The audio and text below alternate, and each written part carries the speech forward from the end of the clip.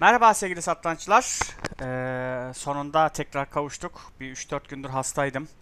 Kanalla da çok ilgilenemedim. Ee, tekrar devam edelim. Bugün sizlere çok güzel bir oyun sonu e, örneği göstereceğim. Ee, Ray Robson, Alexander Ivanov maçı. Ee, bu arada e, söylediğim isimlerde arkadaşlar Ray Robson, Alexander Ivanov diyorsam Ray Robson beyaz, Alexander Ivanov siyah. İlk söylediğim beyaz oluyor. Bilginiz olsun. E4 E5, at F3 at, at C6, fil B5 at F6. Evet, e, Berlin savunması, Berlin defansı dediğimiz açılış son yıllarda e, çok popüler. Siyahlar genelde hemen eşitlediği için e, bu varyantı öyle düşündüğü için oynuyor. E, fakat beyazların da artıları var bu açılışta. Zaten bu artılardan birisini kullanarak kazanıyor beyazlar. Rok, at çarpı E4, D4, at D6, Burada fil C6 var, D5 var. Ee, bir de fil G5 varyantı var. Fil G5 oynamayı tercih etmiş. Ee, beyazlar. Fil E7.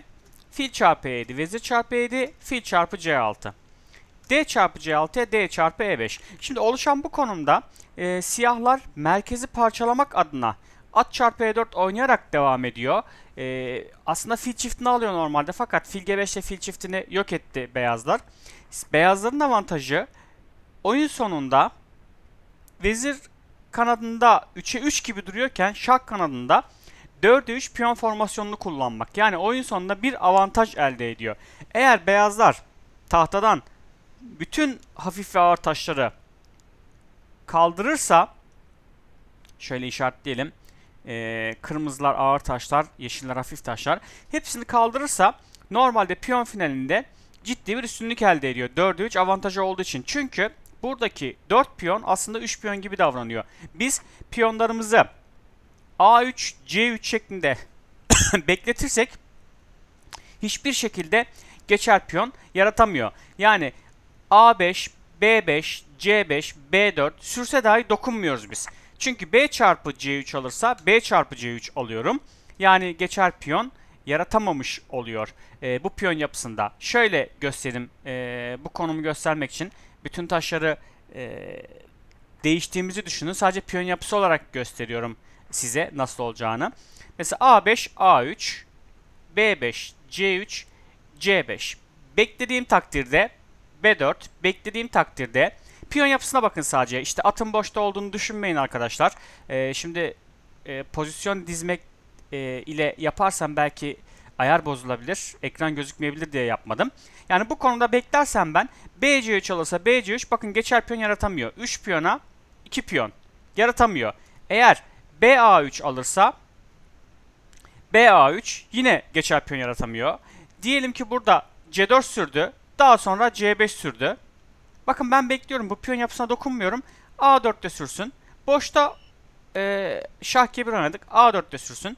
Boşta olduğuna bakmıyoruz. Bekliyorum. Hiçbir şekilde geçer piyon yaratamıyor. Yani 4'e 3, 3'e 3 gibi davranıyor aslında burada. 3 piyona 3 piyon varmış gibi davranıyor. O yüzden bütün taşları değişirse beyazlar, hafif ve ağır taşları bir üstünlük elde etmiş oluyor piyon finalinde. Tabi bu kazanca yeterli mi? Ee, şahların konumu önemli burada. Yani beyazların aslında avantajı bu oluyor e, bu açılışta. At F5, at C3, Rok vezir D3, kale D8, vezir E4. Vezirini merkezileştiriyor. Burada vezir E2'den de yapabilirdi aynı şeyi. Vezir D3'ten yapmış. At H6, fil G4'ü kesiyoruz H3. Fil F5, vezir E2. Fil G6 artık at F5 gelecek siyahlar burada. Taşlarını yeniden e, koordine etmeye çalışıyor. Kale A D1. At F5 vezir C4. H6 at E2. At E2'nin fikri hem at F4 istiyoruz hem de at D4 de oynayabiliyoruz. Şah H7 kale F1. Kale çarpı D1 kale çarpı D1. Kale D8 kale çarpı D8. Vezir çarpı D8'e at F4. Evet e, siyahlar e, mecburen taş değişmek zorunda kalıyor.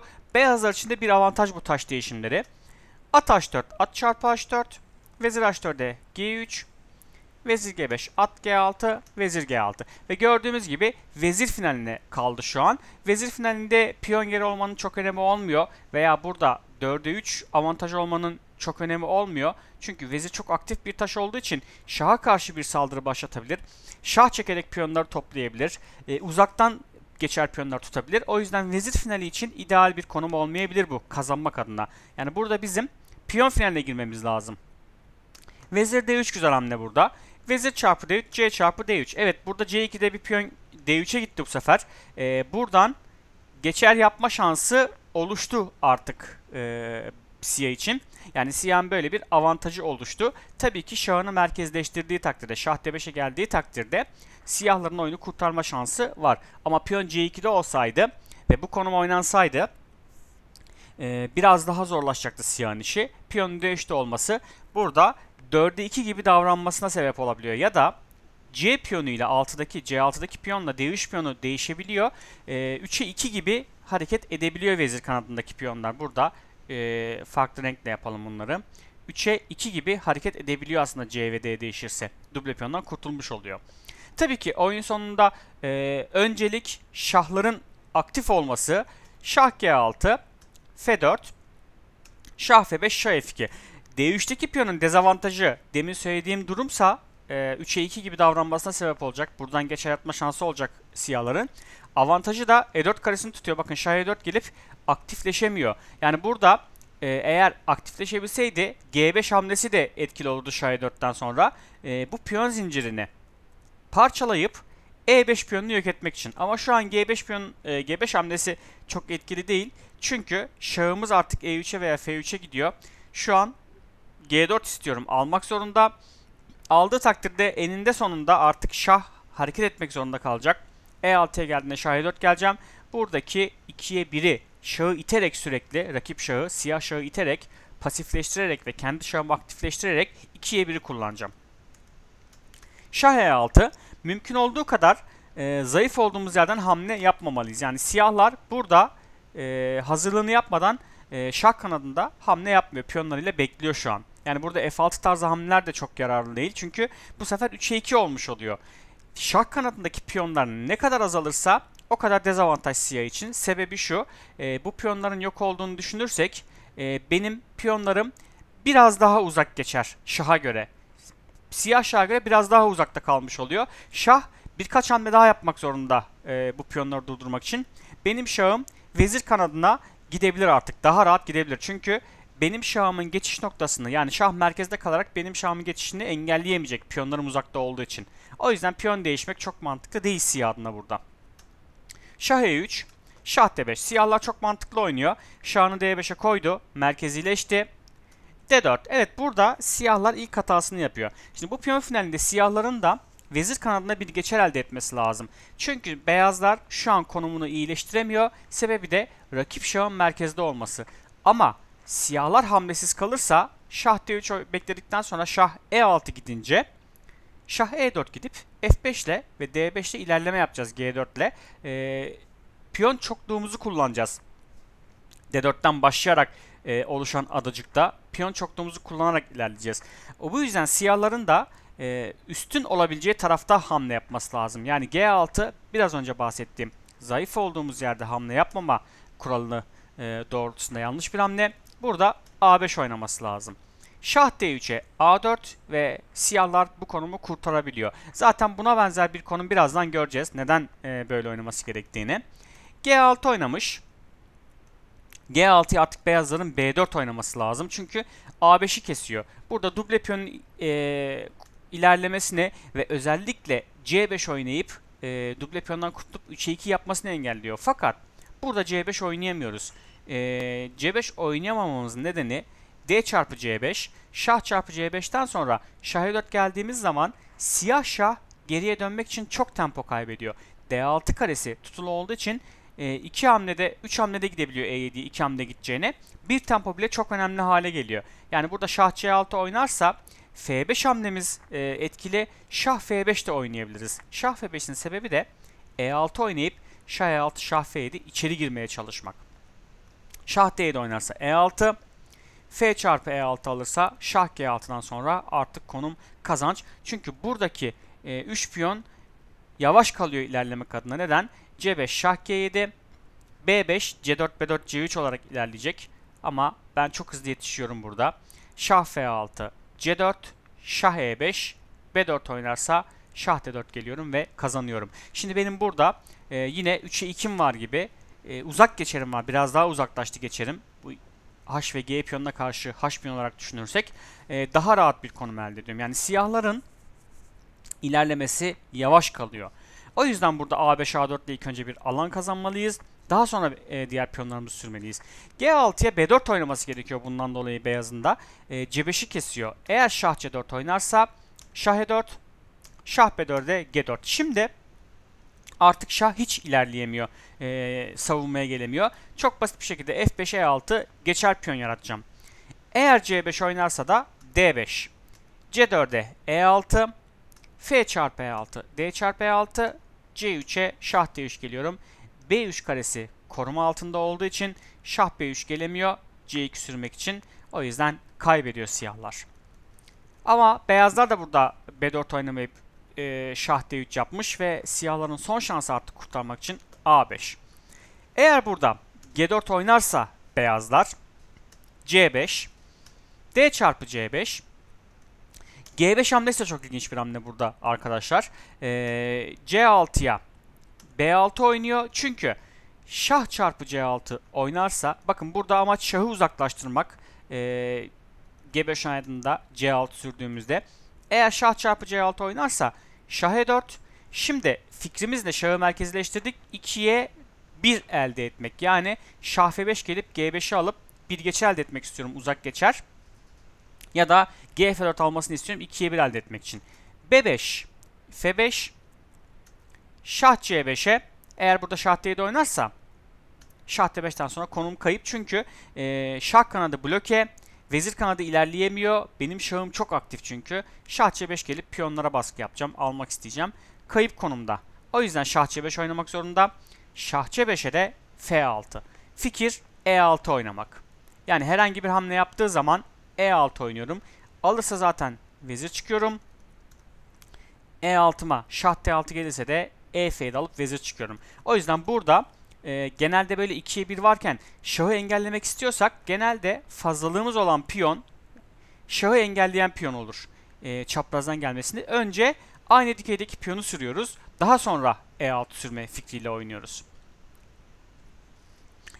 Eğer e, G5 C6'ya B C6 alırsa F5 kazandırıyor burada. Çünkü şah çarpı E5'e şah C4 bu sefer artık buradan geçer yaratıyoruz arkadaşlar.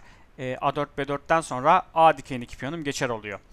Şah F4 A4 C5 oynarsa bir hamle geciktirmiş oluyor. Şah C5 Şah G3 B4 e, A B4 Şah B4 Şimdi burada saymamız yeterli. 1 2 3 4 5 6 7 hamle çıkıyor. Ama ben 1 2 3, 4 hamle çıkıyorum. Zaten bu çaprazdan da tutmuş oluyorum. Yani tek tek oynatmaya gerek yok. Sayarak bakabiliyoruz. Beyazlar kazanıyor.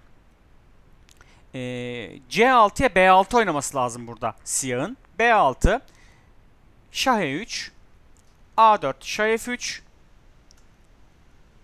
B5'e A3 Şah C6 aldığında FG5 HG5'e Şah E4 Şah F5'e girip artık kazanacak. Şah C5'e şah F5. Şah D5'e şah G5.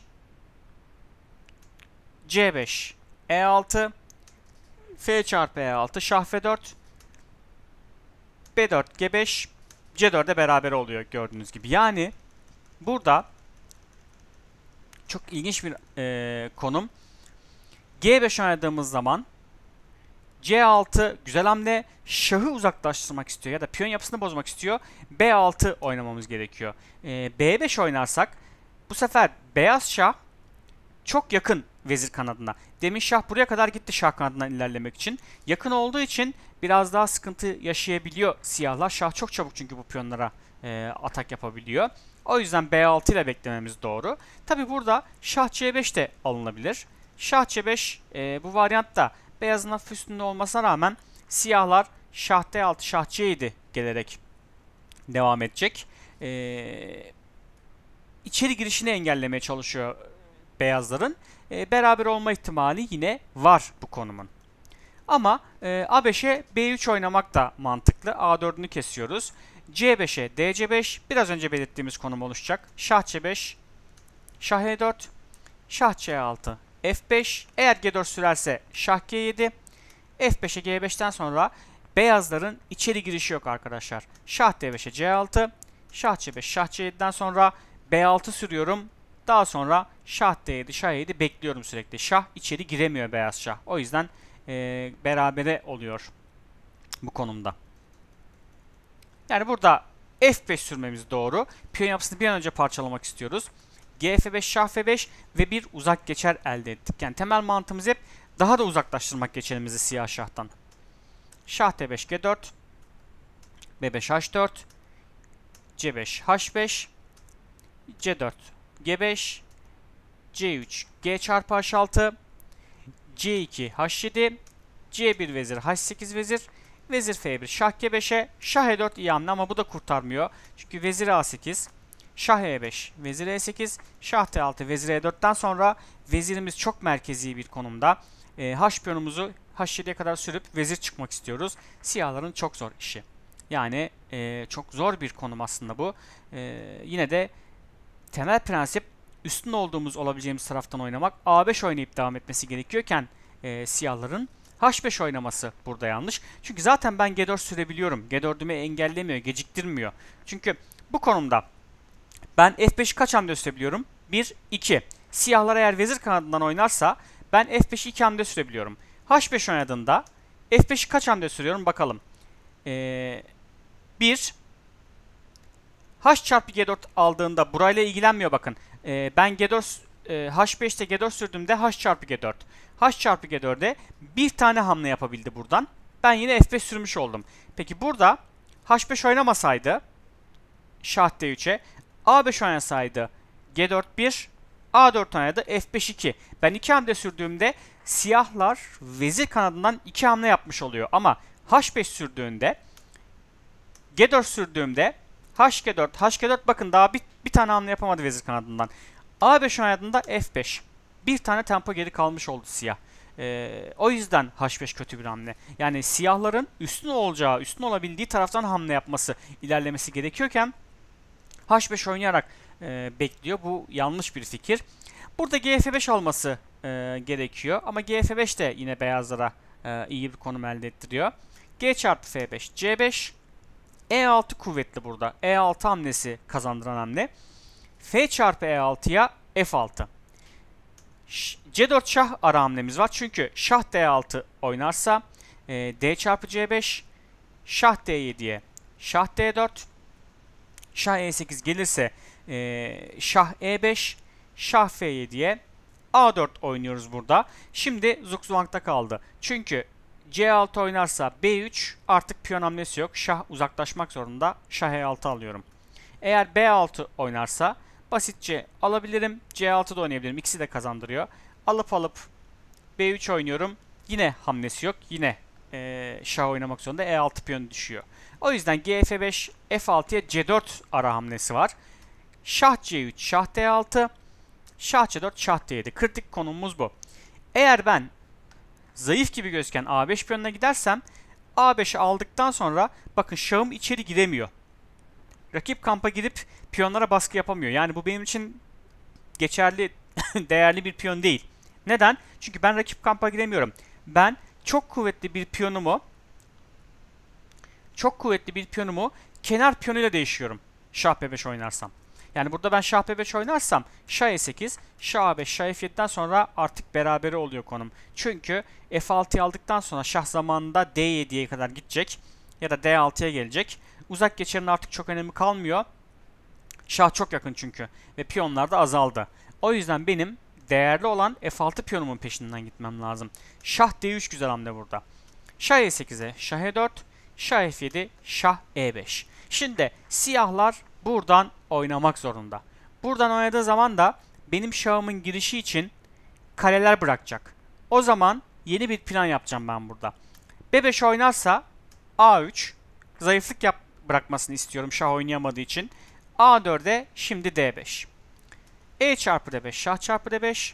Şah çarpı F6'ya şah C6. Bakın C6 karesi boşaldığı için artık oradan giriyorum. Şah E6'ya burada hata yapmayalım. Şah C7 berabere. Şah D5.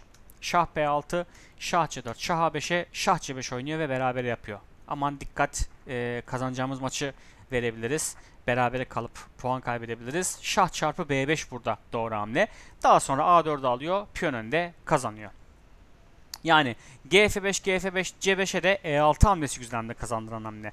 G5 oynamış siyahlar burada. Ama bu da kurtarmıyor. Şimdi artık D5'teki şah geri gitmek zorunda. Ee, ya da C5 oynayıp D5'ten ayrılmak zorunda. Bu sefer şah E4 gelebiliyorum. Ya da C5 oynadığında hatırlarsanız F6 fikrimiz vardı F6 G6. Aynısını yapabiliyorum. B3 A4 sürmesini de engelliyor. B6 A3. Beyazlar akıllı bir şekilde bekliyor. Siyahlar ne yapacak? C5 ve artık C4 de olmadığı için şimdi aynı fikri uygulayabiliyorum. E6 yarma harekatıyla uzak geçe yaratıyorum. F çarpı E6'ya F6 Şah D6'ya D çarpı C5 B çarpı C5'e Şah E4 Evet F6 piyonunu koruyarak gidiyorum. Burada Şah C4 olur muydu? Şah C4 de e, oynanabilecek bir hamle. C6 oynadığında Zugzwang'da bırakabiliyoruz. F7 sürerek veya tekrar Şah D3, Şah E4 gelerek ama Şah E4 merkezi bir hamle ve E5 karesini gözetiyor. Önemli o yüzden. C6 oynasaydı burada A4 C4'e B çarpı C4 C5'e F7 Şah E7 Şah E5 Şah çarpı F7'ye Şah D6 Şah F6'ya Şah C5 kazanıyor. E5 süremiyor burada. Çünkü Şah D5'ten sonra bakın E piyonu da düşüyor. Ee, şahın gelebileceği kareyi kontrol etmişim ben. E piyonu E4 ile feda edecek ya da şahı kaçarak feda edecek. Rahat bir şekilde kazanıyorum artık geçer piyonum olduğu için. Geçer piyonu sürerek ilerliyorum ve B5'e gelip A5'te alıyorum. Şah E5 oynarsa E5 yerine Şah B6, Şah D4'e C5. Burada yine sayıyoruz. E5'ten sonra 1, 2, 3 hamlede çıkıyorum ben. 1, 2, 3. Siyahlar ise 1, 2, 3, 4 hamle çıkıyor. Yani bir hamle eksik kalıyor. Kazanıyoruz o yüzden. Ee, yine gösterelim. C6, E4, C7, E3, C8 vezir. E2 vezire artık vezir E1, vezir C1 gelerek vezir E1'i tutuyoruz. Şah A5'i alıp kazanacağız. O yüzden burada şah D7 oynamak zorunda. Tabi burada şeyi göstereyim size. C6, A4. C4 oynamasa neden C4 oynadık diyebilirsiniz. E, E5 oynarsa mesela burada şah F5 gidiyorum. Şimdi şah F5'in e, mantığı ne? Şah G6, F7 sürmek istiyorum. Şah çekerek vezir çıkıyorum. Mecburen E4 oynamak zorunda. Yani burada C4 tarzı bir hamle yaparsa BC4 alırım. C5 oynarsa mesela şah çekerek çıkacağım için şah G6. E4'e F7, F8 şah çekiyorum. O yüzden e, burada E4 oynamak zorunda kalıyor. E4'e şah çarpı E4 alabilirim. Şah G6 da var. Yine şah çektiğim için E3'e F7, E2'ye F8 vezir. Daha sonra vezir F2 gelip kazanıyorum. Ama e, dediğim gibi bu bir kazanç. E4'e şah çarpı E4'te yapabiliriz. Çünkü şah E6 oynadığımda F5 karesine girmek için F7 sürüyorum. Şah F7'ye şah F5. G piyonum geçer. Siyah şah G piyonuyla ilgilenirken ben bu piyonlara gidip kazanıyorum. Tabi burada C6 A4 şah D7 gelirse ona da şah E5 var. E6 piyonu düşüyor. Şah ayrılmak zorunda kalıyor ve kaybediyor. Şah E4'e şah D7 gelmiş. Şah E5 deminki konum oluştu terk etmiş. Çünkü burada C6 oynarsa A4 demin size gösterdiğim konum. Şah gitmek zorunda. Ee, E6 düşüyor. C4 oynarsa alıyoruz. C5 oynarsa basitçe F7 kazanıyor. Şah E7 F8 vezir. Şah F8 Şah E6. Gelip G piyonunu alacağım ya da C piyonunu alacağım. Hepsi kazandırıyor. Evet çok güzel bir oyun sonu. Gerçekten e, özellikle e, burada beyazların 4'e 3 iken 5'e e, 3 gibi davranıyor ama D piyonu E piyonu destekliyor sadece. Yine 4'e 3 avantajı var. Siyahların 3'e 2 avantajı yapmaya çalışmasını görüyoruz. Piyon D3'e geldiği için. Ama burada D4'de şahı çok aktif siyahın e, A5 oynayıp vezir kanadına ilerlemesi gerekirken zayıf olduğu yerden tempo kaybediyor. Bakın bir tempo bile ne kadar önemliydi. Karşılıklı vezir çıkmalarda bile beyaz önce çıkıyordu. Siyahlar geri kalıyordu tempodan dolayı kaybediyordu. Neden? Çünkü G6 ve H5 gibi iki tane tempo harcadı. Beyazlar zaten burada G4 F5 sürecek engelleyemiyor siyahlar. Yani G6 gereksiz bir hamle o yüzden. H5 de gereksiz bir hamle. Demin size anlattım. G6 ve H5'te özellikle H5'te nasıl tempo kaybettiğini. Siyahlar burada kuvvetli olduğu taraftan A5 B5 ile vezir kanadından oynamış olsaydı bir tempo öne geçecekti veya iki tempo öne geçecekti. Karşılıklı vezir çıkmalarda siyah da tam zamanda çıkabilmiş olacaktı. Yani bizim sadece şahımızı aktifleştirmemiz yetmiyor. Şah aktif olmalı. Aynı zamanda kuvvetli olduğumuz taraftan da piyon sürüşleri yapmalıyız. E, ilerlemeliyiz tempo kazanmak için. E, bu anlamda öğretici bir piyon finaliydi. E, oyun sonu ile ilgili çok da istek oluyordu. Oyun sonu partileri biraz yükleyeceğim bu aralar. E, bu tür maçları yükleyeceğim. E, umarım beğenmişsinizdir. Videoyu beğenmeyi hatırlayın arkadaşlar. Sizleri seviyorum. Kendinize iyi bakın.